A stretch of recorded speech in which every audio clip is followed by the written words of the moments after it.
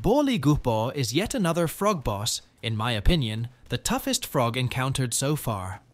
He is lurking in Webbed Hollow and employs its long tongue as a weapon, launching a poison swamp attack that releases toxic fumes across the surrounding area or various sections of the arena.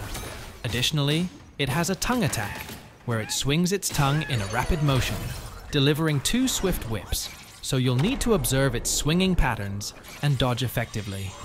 The final move in its arsenal is the grab attack, where it snatches you up and tosses you into the air, aiming to catch you with its tongue before slamming you back down.